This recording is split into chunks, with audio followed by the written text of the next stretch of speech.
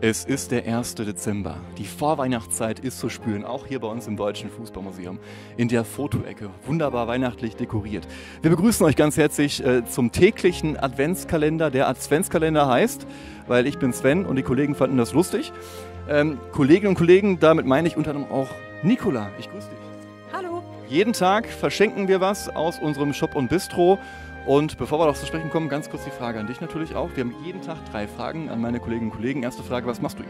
Ich bin Betriebsleiterin und kümmere mich um Gastronomie und Events. Jo, seit dem Start.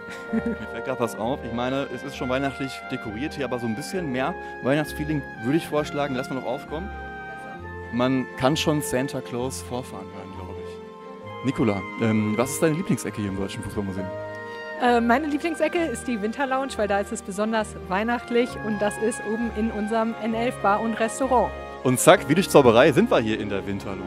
Schick aus. Ja, steckt viel Arbeit drin, aber ich glaube, es hat sich gelohnt. Jetzt sind wir im Shop und im Bistro, Nicola. Und da kannst du jetzt das Angebot zum 1.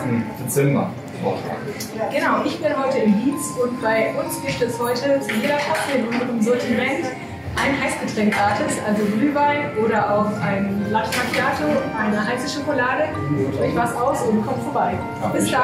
Ich wähle mir hier die Tasse aus und hole noch einen Kaffee dazu. Danke, Nicola. Also kommt ruhig vorbei. Ihr könnt auch ohne Museumsticket bei uns im Shop und Bistro shoppen. Ähm, auch ideal für Geschenke, falls ihr für eure Liebsten noch Geschenke braucht. In dem Sinne nochmal danke, Nicola. Danke. Und hau, hau, hau, kommt vorbei ins Deutsche Fußballmuseum. Wir freuen uns.